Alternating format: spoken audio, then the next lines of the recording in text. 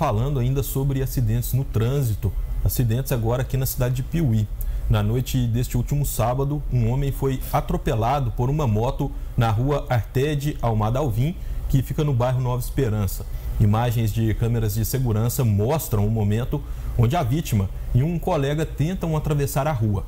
O outro homem, ao avistar a motocicleta que estava em alta velocidade, para, mas a vítima continua e é atingida o homem é jogado e cai no chão. O Corpo de Bombeiros de Piuí informou que na moto estavam duas jovens, de 19 e 22 anos, mas não informou qual delas era a condutora.